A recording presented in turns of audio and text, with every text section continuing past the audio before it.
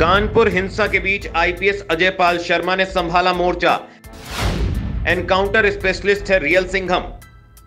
कानपुर में सांप्रदायिक हिंसा के बाद शहर के हालात को संभालने के लिए शासन ने आईपीएस अजय पाल शर्मा को भेजा है।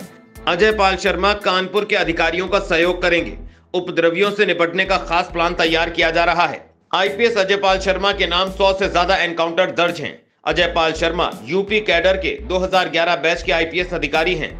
कानपुर पहुँचे आईपीएस अजय पाल शर्मा को शहर में अमन शांति स्थापित करने के लिए भेजा गया। है उत्तर प्रदेश के मुख्यमंत्री योगी आदित्यनाथ कानपुर हिंसा पर पैनी नज़र रख रहे हैं। कानपुर के आला अधिकारी सीएम योगी के संपर्क में हैं।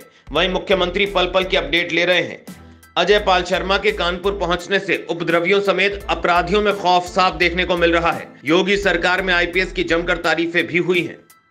पंजाब के लुधियाना में रहने वाले अजय पाल शर्मा यूपी कैडर के 2011 बैच के आईपीएस अधिकारी हैं। आईपीएस अजय पाल शर्मा की पहली पोस्टिंग यूपी के सहारनपुर में हुई थी। उन्होंने एक के बाद एक एनकाउंटर किए और एनकाउंटर स्पेशलिस्ट बन गए।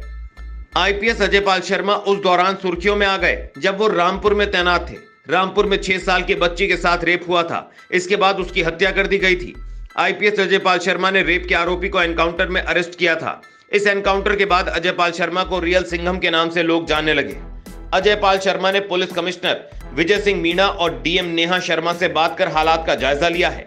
आईपीएस अजय पाल लगातार पूरे मामले की मॉनिटरिंग कर रहे हैं। कमिश्नरेट पुलिस के साथ मिलकर योजनाबद्ध तरीके से प्लान भी तैयार कर रहे हैं। पुलिस की एफआईआर में जितने भी नामजद हैं, उनका इतिहास खंगालने का काम कर रहे हैं।